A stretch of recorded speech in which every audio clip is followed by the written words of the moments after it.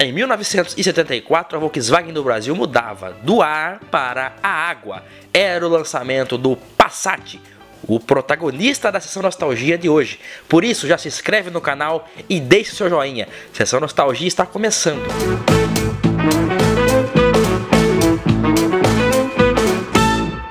Olá amigos do canal PL, que prazer ter você aqui. Falamos do Santana na última quinta-feira e hoje vamos falar sobre o seu a sua origem, que é naturalmente o Passat. O lançamento do Passat no Brasil fez a Volkswagen abandonar todo o patriotismo que ela praticava com o conceito da mecânica refrigerada a ar, abandonando as propagandas que enfatizavam as vantagens do sistema Boxer do Fusca. A partir dali surgia uma nova Volkswagen que só foi possível graças à aquisição da Audi pela marca alemã em 1964. Até meados dos anos 60, a Volkswagen ainda quebrava a cabeça tentando criar um sucessor do Fusca, mas ainda sob a mesma base e o mesmo conceito de refrigeração a ar. Isso deu origem a muitos projetos fracassados, inclusive um primeiro dele tentando já se descolar um pouco mais do projeto original. A primeira tentativa de um Volkswagen com origem, com base Audi, foi o Volkswagen K70, um projeto que já estava em andamento quando a Audi foi comprada pela Volks, mas esse também não animou o mercado. Essa história começou a mudar quando um modelo chamado Audi 80 80 serviu de inspiração estética e mecânica para o novo modelo Volkswagen. O projeto foi feito por Giorgio Giugiaro, que a partir do sedã Audi 80 fez um belo fastback que ganhou o nome de um vento que passava a impressão de velocidade. Era o Passat. Ele chegou por aqui em junho de 1974, apenas um ano depois de lançado na Europa. Com um estilo de carroceria bem visto por brasileiros na época, seu lançamento escancarou a defasagem do Volkswagen TL. Até então, o fastback da marca, lançado nas versões básicas L e LS, ele ia contra tudo que a Volkswagen oferecia por aqui até então. Ao contrário de carroceria em cima de um chassi, ele tinha monobloco. Até aquele momento só a Kombi tinha esse tipo de carroceria. Mecanicamente, a tração e motor dianteiros eram o oposto de todos os outros Volkswagens da época. Além do inédito freio com duplo circuito em diagonal, que em caso de falha em algum dos sistemas, uma roda de cada eixo em lados opostos ainda se mantinha em funcionamento, evitando assim que o carro perdesse totalmente o freio. Enlouqueci desde que te vi.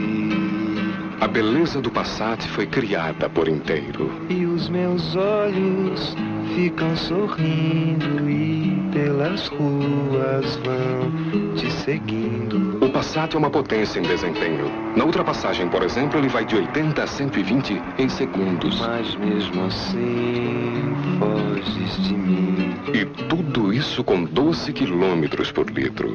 Se todos fossem iguais a você, que maravilha viver.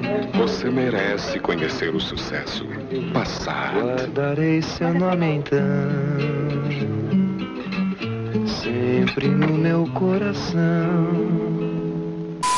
Antes da chegada do Santana em 84, o Passat foi o carro mais caro e luxuoso da Volkswagen até então e deu origem a uma grande variedade de modelos e versões. Em 1975 chegava a versão 4 portas, visando substituir a, o TL 4 portas que estava saindo de linha. O TL saiu de linha em 75, tanto o duas quanto o 4 portas. Foi nesse ano, inclusive, que o Passat foi eleito o carro do ano pela primeira vez. Se naquele ano o Passat tirou de linha o TL em 19 1976 foi a vez do esportivo Passat TS apressar a aposentadoria do clássico SP2. A nova versão apimentada trazia faróis duplos, faixas exclusivas, motor 1.6 com carburador Solex de corpo duplo. No interior, o volante wall-road, contagiros e manômetros no console davam ar de esportividade. A versão TS foi produzida até 1982 quando foi substituída em 83 pela GTS. Quem precisava de praticidade ao invés de esportividade poderia, a partir de 76, também optar pelo Passat 3 portas,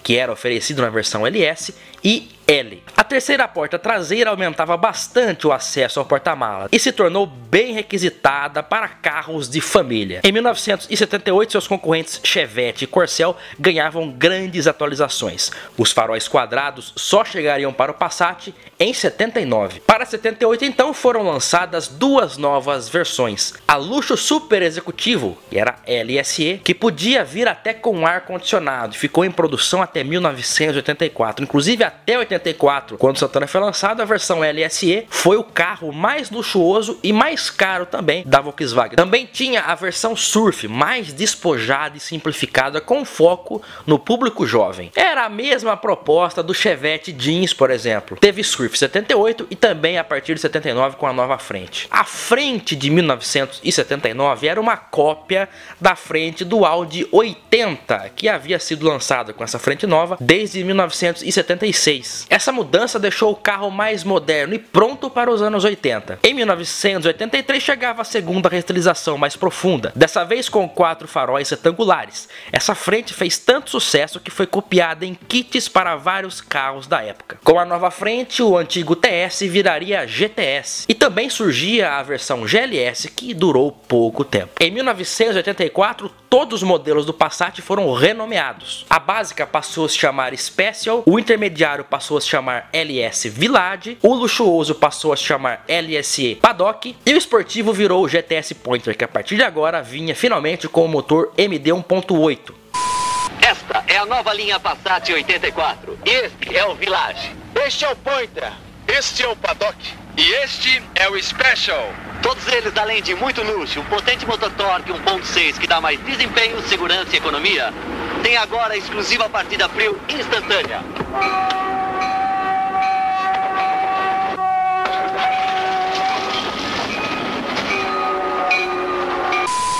Os demais vinham com um novo motor Torque 1.6. Além desses, também tivemos uma versão especial que era o Passat Sport, que poderia vir inclusive com teto solar de vidro. Essa versão foi limitada a apenas 1.200 unidades no ano de 84. Em 1985, o Passat sofria sua grande última restilização. Era o primeiro carro da Volkswagen do Brasil a receber os para-choques de plástico envolventes. O painel também, todo o tabelier interno era totalmente novo e ganhava o instrumental igual o do Santana.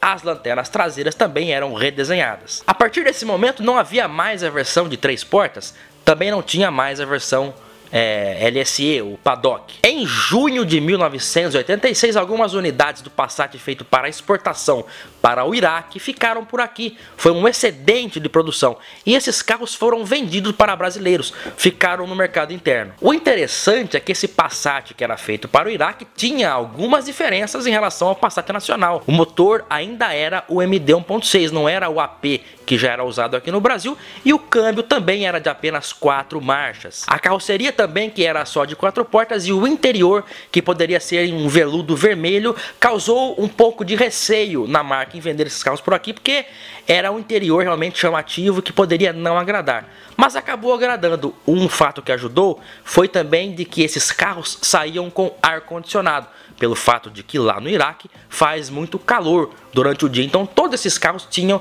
ar-condicionado, um item que não era muito comum nos anos 80 por aqui, mas já agradava. Então por essa razão também ajudou a, a esses carros a serem comercializados por aqui. Esses Passats Iraque, como ficaram conhecidos, foram vendidos por aqui até 1987 em várias cores também. E hoje são carros bem raros e interessantes.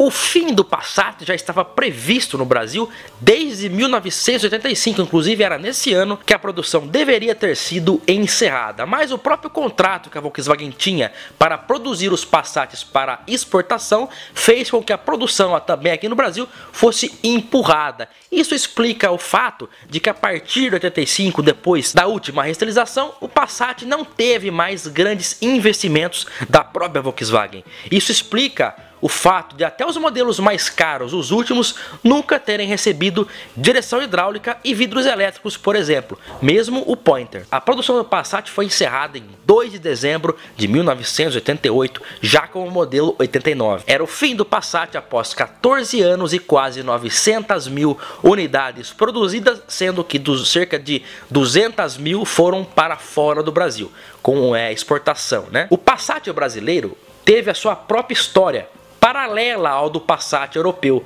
que já no ano de 78 recebeu a sua segunda geração, que ficou conhecida como B2, que deu origem ao nosso Santana. Aqui no Brasil, até 89, o Passat ficou basicamente na mesma geração lá da primeira de 74, recebendo apenas atualizações feitas aqui pela Volkswagen do Brasil em 79, em 83 e em 85. Após o B2, teve também outras gerações, como a B3, que veio em pouquíssimas unidades aqui para o Brasil, ainda com regime de importação. Em 1994, o Passat voltava ao Brasil, sendo vendido de fato pela Volkswagen. Era o Passat B4 que vinha dessa vez com pinta de importado. Foi esse Passat, inclusive, o responsável pela Volkswagen ter deixado de fazer grandes investimentos no Santana a partir da segunda metade dos anos 90. Curioso que o nosso Santana dos anos 90 é uma restilização brasileira feito em cima do Passat B2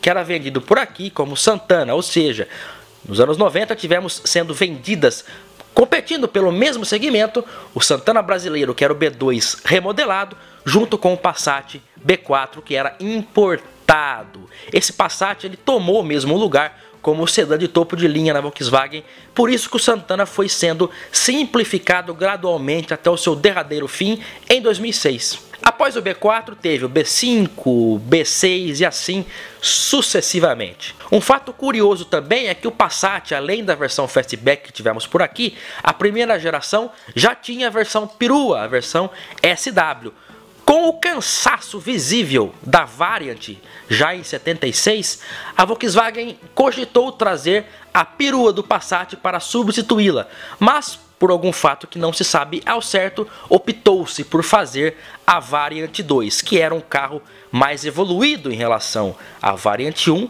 mas que era menos, era ultrapassado, mesmo, mesmo assim era ultrapassado em relação ao Passat SW. Fala-se algo é, em relação a custos, que a Passat SW seria muito cara Falas também em questão de logística, sistema operacional em que a Volkswagen ainda naquele momento não tinha condições, até mesmo na fábrica de Taubaté, para fabricar a Passat SW, que seria, concordamos, uma ótima sucessora para a já cansada Variant 1. Mas optou-se pela Variant 2, que chegou em 78, era, eu acho que é, um dos Volkswagen R mais evoluídos já feitos por aqui, que trazia inclusive a suspensão MacPherson, mas chegou tarde demais e não tinha como competir de igual para igual como, é, com concorrentes como Caravan e Belina 2, por exemplo. Passat SW, que na segunda geração é a Quantum, que nós conhecemos aqui como Santana Quantum. Curiosidades que você confere aqui no nosso canal, o canal PL Literatura Automotiva. Se você está chegando agora, inscreva-se e dê o joinha nesse vídeo. É a sessão nostalgia para você, sempre aqui no canal PL, toda semana. Um grande abraço e até o próximo vídeo. Tchau!